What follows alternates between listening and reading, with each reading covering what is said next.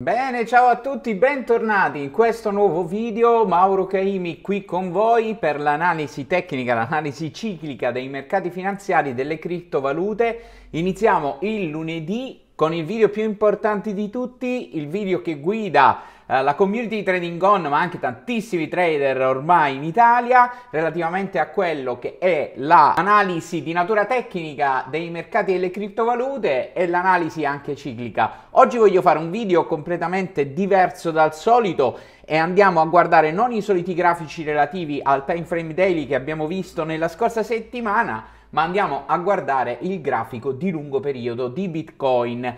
Perché l'analisi di lungo periodo di Bitcoin? In questo momento ragazzi è importante perché è finito il mese di gennaio che è stato assolutamente uno dei mesi più importanti degli ultimi 7-8 dei mercati delle criptovalute, ve lo farò vedere all'interno di questo video, ma a parte Bitcoin alla fine del video guarderemo anche Ethereum ragazzi, perché Ethereum ha dato un bel segnale, spingendo anche moltissime altcoin a dare buoni risultati e soprattutto a iniziare un trend che potrebbe nel corso delle prossime settimane dare grandi soddisfazioni a tantissimi trader. C'è una news che però volevo darvi in anteprima perché nell'Academy Premium stiamo facendo un nuovo esperimento in questa settimana. Apriremo uno dei miei trading system, quello di medio periodo che fa 1-2 operazioni massimo al mese e lo daremo disponibile a tutti gli iscritti dell'Academy in maniera automatizzata ragazzi. È la prima volta che facciamo un esperimento del genere quindi tutti gli iscritti in Academy avranno la possibilità in beta test di fare questo esperimento cioè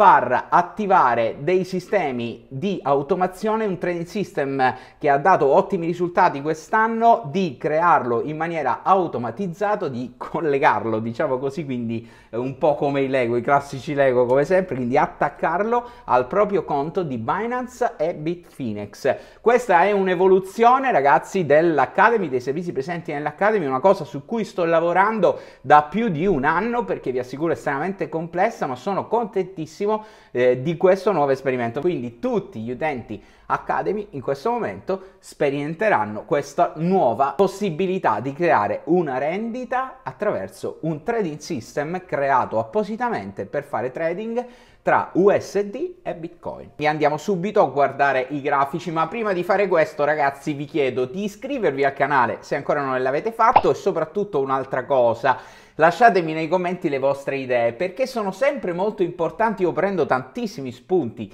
da quello che mi scrivete nei commenti. Andiamo subito sul grafico, grafico mensile di Bitcoin. Ragazzi, allora il grafico in questione è quello di Coinbase perché mi serviva sempre il solito grafico pulito. Questo è un grafico di natura mensile. Intanto focalizziamo l'attenzione su questo mese che è quello di gennaio, un mese importantissimo in questo caso ragazzi perché guardate cosa fa.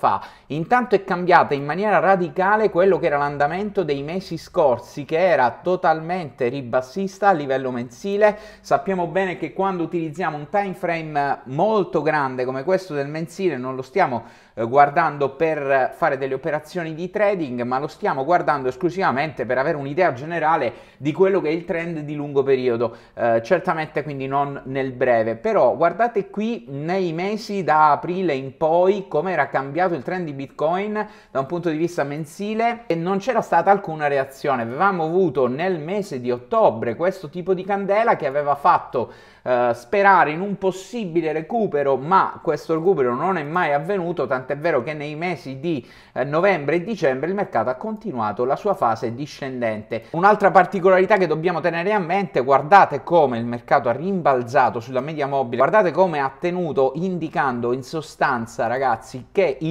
trend del mercato criptovalute di Bitcoin nel lungo periodo non era cambiato neanche con questa fase ribassista, perché questa fase ribassista aveva dato il via a questo tipo di movimento. La reazione che è avvenuta adesso, qui proprio nel mese di gennaio, è una reazione chiave, ragazzi, perché blocca la fase discendente bloccandola in sostanza dà anche la possibilità di poter vedere questo tipo di atteggiamento. Questo tipo di atteggiamento è un'inversione di lungo periodo, lungo ragazzi, almeno due anni, quindi è una cosa molto importante e tutto avviene dal mese di gennaio, questo mese di gennaio che ci ha fatto questa candela eh, splendida, piena, verde, molto importante. Andiamo a vedere quanto il mercato ha reagito dai minimi di dicembre, guardate un po', circa il 50%. Cioè, soltanto nel mese di gennaio questa candela, ragazzi, è stata una candela che ha portato circa il 40%, 35-40% di oscillazione sul mercato, di rendimento positivo, quindi è stato un ampio eh, sviluppo di trend molto buono e tra le altre cose mi piace molto perché? Perché non è andato in bolla, questo era un'altra cosa che volevo farvi capire, perché non ha fatto il più 80% classico delle bolle speculative nei mercati delle cripto. Secondo me il mercato criptovalute Bitcoin in questo preciso momento storico è abbastanza maturo per poter evitare eh, di ricascare in una bolla speculativa come quella del 2017 che non è produttiva. Andiamo a guardare il futuro, quello che può succedere da adesso in poi. Il mese di febbraio è un mese chiave. Perché ragazzi? Perché il mese di febbraio è un mese chiave in quanto deve andare a invertire definitivamente questo trend, deve andare a invertire questo trend ribassista in maniera definitiva.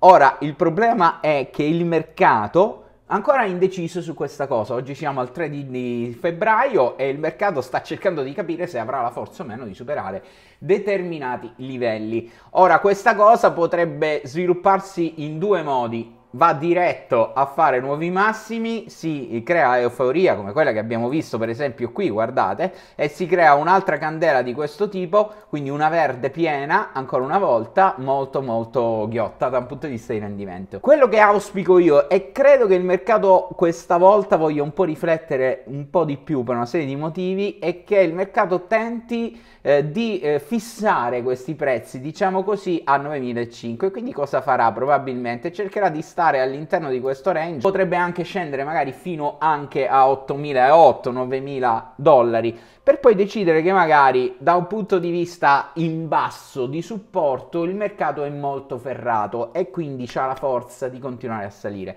Una rottura di questo livello, ragazzi, di questo livello, e lo vedete da un punto di vista grafico che sono i 10.000 dollari, eh, darà il via ad una rincorsa come solitamente noi eh, conosciamo del mercato che potrebbe spingere a fare questo.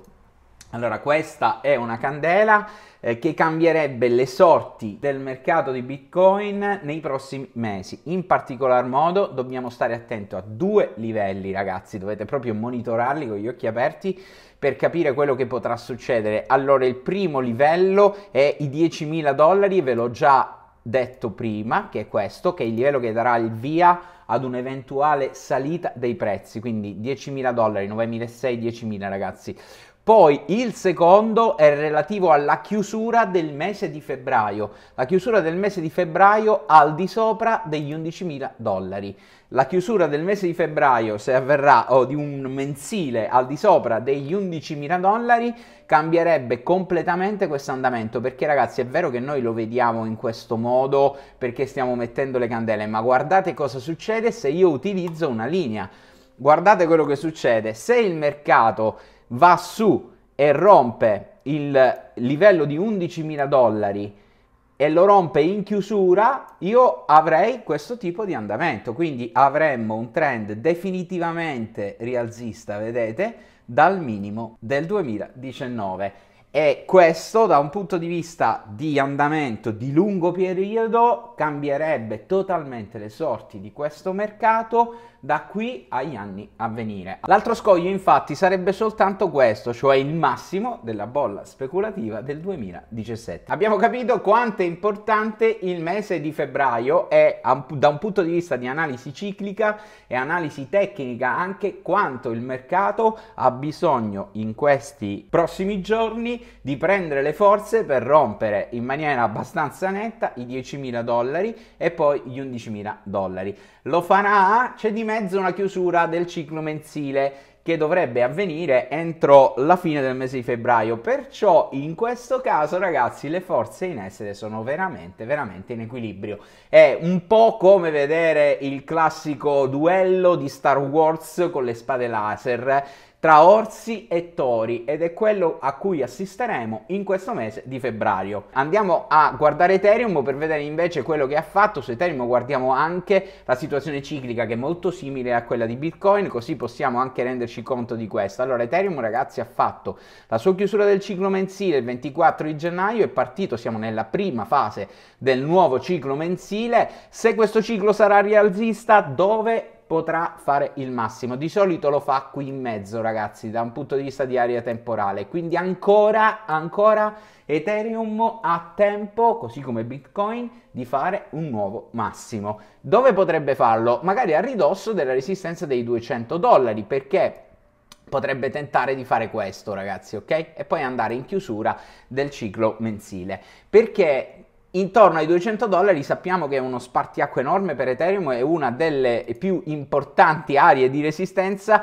eh, per la regina delle criptovalute in questa fase perché corrisponde a questi livelli. Poi soltanto sopra 225 cambierebbe proprio il trend di lungo periodo. Però c'è anche da dire, ragazzi, guardate che bel trend che ha fatto Ethereum, bello disegnato, pulito, elegante, ha rotto anche la media mobile a 200 periodi, in questo momento dichiarando che la fase di trend ribassista è finita e che siamo entrati in un trend laterale, vedremo se girerà in un trend rialzista, si aspetta il golden cross della media mobile a 50 periodi, l'unica appunto fase di riflessione che il mercato potrebbe fare è mh, vicino a quest'area, quindi dal 15 di febbraio in poi, perché c'è da chiudere un ciclo mensile, ma potrebbe ancora spingere, nonostante la giornata di oggi non è assolutamente positiva perché sta facendo una giornata di riflessione, ma attenzione, attenzione a preoccuparsi ragazzi perché quando un trend inizia, se questo è un trend rialzista, ovviamente è lungo, ancora non lo sappiamo, ma quando